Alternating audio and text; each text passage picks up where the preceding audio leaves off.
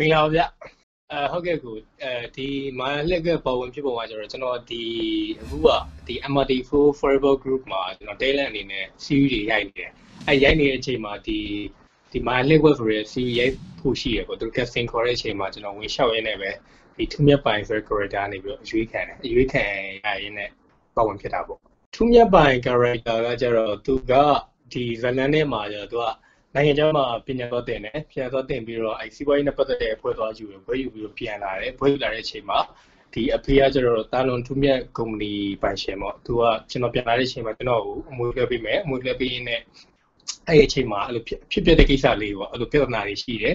အဲပြဿနာတွေနဲ့အဲ့လိုမာယာလှည့်ကွက်ဆိုတော့ဘယ်လိုမာယာတွေလာမလဲပေါ့အဲ့လိုမျိုးတွေရှိတယ်ပြီးတော့သူ character အရာကျတော့သူကဟိုနည်းနည်းလေးအဲ့လိုအာဘယ်လိုပြောရမလဲနည်းနည်းလေးအဲ့လိုသဘောကောင်းတယ်ပေါ့သဘောကောင်းတယ်နည်းနည်းလေး နည်းနည်းလေးပြော့တယ်ပေါ့စိတ်ကနည်းနည်းပြော့တယ်အဲ့လိုမျိုးဟိုသူမိဘစကားနားထောင်ပြီးတော့ဒီမိဘနဲ့ဒီကောင်လေးနဲ့ကြားတယ်နည်းနည်းပြားများတဲ့ပုံစံမျိုးလေးပေါ့သူ character ရတာဒီထဲမှာကျ trailer အရာကျတော့သူ sing sing sing အရာပေါ့သူ sing အရာဖြစ်တယ်ဖြစ်မယ်ထင်တယ်ကျွန်တော် sing အရာကျတော့သူထည့်ထားတဲ့ get ကအဲ့လိုအဲ့ကျွန်တော်ထင်တယ်အဲ့ပထမဆုံးအဲ့ပထမဆုံးအဲ့ trailer မှာပါတဲ့ get ဆိုလို့ရှိရင်ဒီအဲ့အလိုဝမုန်းတဲ့သူနဲ့အဲ့လိုလမ်းခွဲကန်ဒီ ဆင်းပေါ့လမ်းဝန်းကန်ဒီဆင်းဆိုတော့နည်းနည်းလေးအဲ့လိုသူမျက်နှာအဲ့လိုဖြစ်နေတာပေါ့ဒီ character အရာကျတော့ဘယ်လိုပြောရမလဲ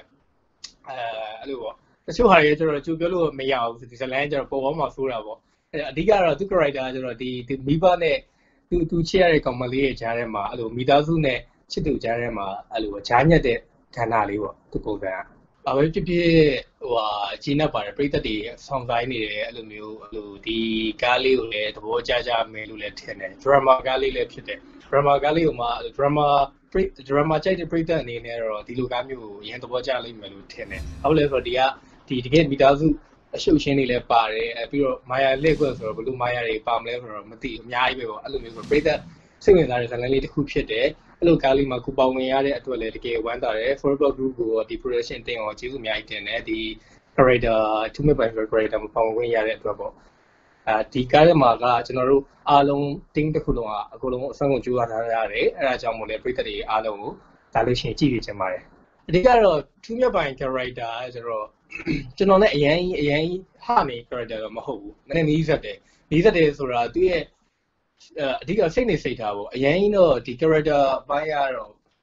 အဝေစားအဝေစားဘာညာကြတော့ဒီတာမန်ပဲဒီ company ရုံးသွားရုံးလာပုံစံမျိုးဆိုတော့အရင်အရင်ခက်ခက်ခက်ခဲမရှိဘူးဝေစားဘိုက်ပြင်ဆင်မှုကြတော့အဓိကတော့စိတ်နေစိတ်ထားပေါ့စိတ်နေစိတ်ထားပေါ့ဒီဇလန်နဲ့ကသူမြတ်ပါရဲ့စိတ်နေစိတ်ထားကိုတော့ပြင်ဆင်ရတော့အဓိကတော့စိတ်နေစိတ်ထားပဲပေါ့ဒီထဲမှာမမြမမြ character ကြတော့လေသူကသူ့မှာတားတယောက်ရှိတယ်သူ့မှာတားတယောက်သူသူက ဟုတ်တယ်သူမှသားတယောက်ရှိသူကလည်းမိသားစုသူကလည်းမိသားစုအနေနဲ့ပဲအဓိကဟိုဘယ်လိုတော့လဲအဓိကတော့မိသားစု၃ခုလောက်ရှိမှထင်တယ်ဒီကမိသားစု၃ခုလောက်အဲ့လိုမျိုးအားပြိုင်တဲ့ဇလန်မှာသူတို့အရင်ကဖြစ်ခဲ့တဲ့ပြဿနာတွေနဲ့အဲ့လိုဇလန်အရှုပ်ရှင်းတွေပေါ့အဓိကအဲ့လိုအဲ့လိုဆက်မျိုးပါပဲဒီကမှမမောင်မြတ်နဲ့အဲ့လိုမဆုံးလိုက်ဘူးသူနဲ့ကတော့အရင် toxic မှာတော့စုံတယ် toxic season 2မှာတော့စုံတယ်ဒီကမှကျတော့အဲ့လိုစုံစင်းမများဘူးဒီကနည်းနည်းလေး character ကြီးလည်းများတယ်တင်းတဲ့နေလည်းများတော့အဲ့လိုပေါ့သူ့ကဏ္ဍနဲ့သူပေါ့ပါဝင်ကြတဲ့ နေရာလေးရှိတယ်ဒီကားမှာဒီမောင်မြတ်နဲ့တိတ်မစုံဘူးအဓိကစုံတာဦးမင်းဦးတို့နဲ့စုံတယ်တားဖဆိုဦးမင်းဦးတို့မလှမျိုးတင်ကနယ်တို့ပြီးတော့အဲ့လိုဒီအနဝမုံးပေါ့ဟိုပါပေါ့အဲပို့ချက်ဖြူခင်းတို့တို့နဲ့စုံတာများတယ်အဓိကရှင်းရတော့အဲဒီကားကဟိုဇက်အိမ်လည်းကောင်းတယ်အဓိကဇက်အိမ်လည်းကောင်းတယ်ဒီကျွန်တော်တို့ဒီမြန်မာပရိသတ်ပေါ့ဒီမြန်မာပရိသတ်တော်တော်များများ drama ကားကြိုက်တာများတယ်အဲ့လို drama ကြိုက်တဲ့ပရိသတ်တော်တော်ဒီကတော့ဇက်အိမ်လည်းရန်ကောင်းတယ်ကြည့်လို့ကောင်းမဲ့ ဇာကားတစ်ခုလို့တော့ကျွန်တော်ထင်တယ်အခုလိုကားမျိုးမှာပါဝင်ရတဲ့အတွက်လည်းကျွန်တော်တကယ်လေးပီတိဖြစ်တယ်ဝမ်းနဲ့ဝမ်းသာတယ်ဒီလောက်တနေရာနေပါဝင်ရတဲ့အတွက်အရင်ပီတိဖြစ်ပါတယ်ပြီးတော့ဒီကားမှာပါဝင်ရတဲ့သူတွေအားလုံးကလည်းတကယ်ဒီအနည်းပညာယူသွကြတဲ့သူတွေပဲဆိုတော့အားလုံးအဆုံးကိုစူးစမ်းထားကြတယ်အဲ့ဒါကြောင့်မို့လဲပရိသတ်တွေလည်းအကြိုက်တူမယ်လို့မျှော်လင့်ပါတယ်အဲဒီ series လေး